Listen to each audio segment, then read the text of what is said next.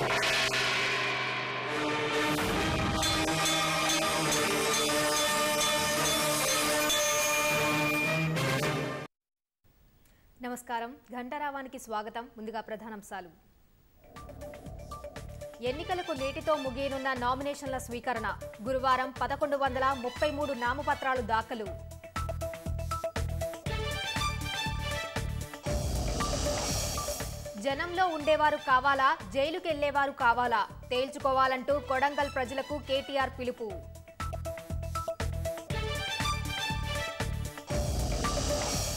బారాసా కాంగ్రెస్ అధికారానికి వస్తే భవిష్యత్ అంధకారం. ఐటీ ఈడీ తనిఖీలతో తనకేం సంబంధమని కిషన్ రెడ్డి ప్రశ్న.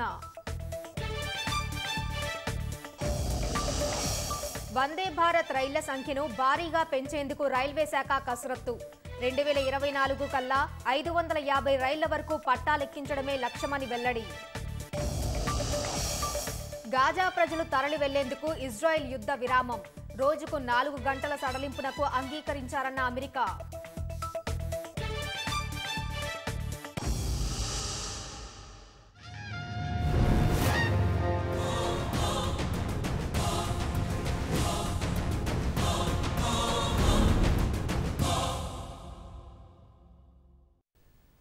అసెంబ్లీ ఎన్నికలకు గురువారం రాష్ట్ర వ్యాప్తంగా నామినేషన్ల పర్వం జోరుగా సాగింది.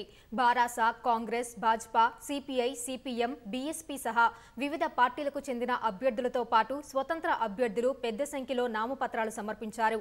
గజ్వేల్ కామారెడ్డిలో ముఖ్యమంత్రి కేసీఆర్ సిరిసిల్లలో మంత్రి కేటీఆర్ సిద్దిపేటలో మంత్రి హరీష్ రావు సహా పలువురు మంత్రులు పలు పార్టీల నేతలు ర్యాలీగా వచ్చి నామపత్రాలు సమర్పించారు.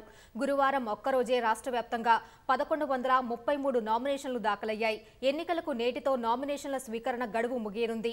ఇప్పటికే నామినేషన్లు దాఖలు చేసిన అభ్యర్థులు బీఫామ్లు సమర్పిస్తేనే ఆయా పార్టీల అభ్యర్థులుగా గుర్తిస్తామని ఎన్నికల సంఘం స్పష్టం చేసింది. బీఫామ్లు సమర్పించుకుంటే స్వతంత్ర అభ్యర్థులుగా పరిగణిస్తామని తెలిపింది. ఈ నెల పదమూడున నామినేషన్ల పరిశీలన చేయనుండగా ఉపసంహరణకు ఈ నెల పదిహేను వరకు అవకాశం ఉంది ఈ నెల ముప్పైన పోలింగ్ జరగనుండగా వచ్చే నెల మూడున ఓట్ల లెక్కింపు చేపట్టనున్నారు.